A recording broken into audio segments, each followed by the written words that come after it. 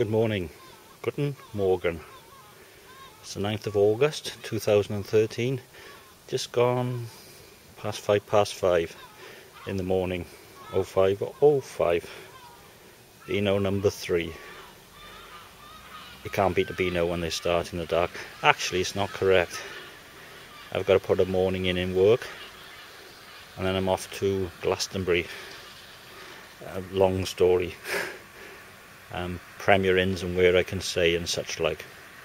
But still, never been there before, and life is about new things and new places.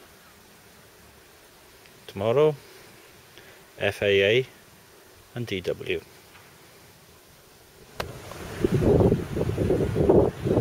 Later on, in fact, just before two o'clock, I'm sure.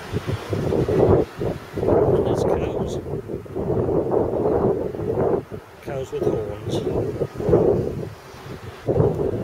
Anyway, this will do for me tonight. Uh, I'm the Brewers Fayre.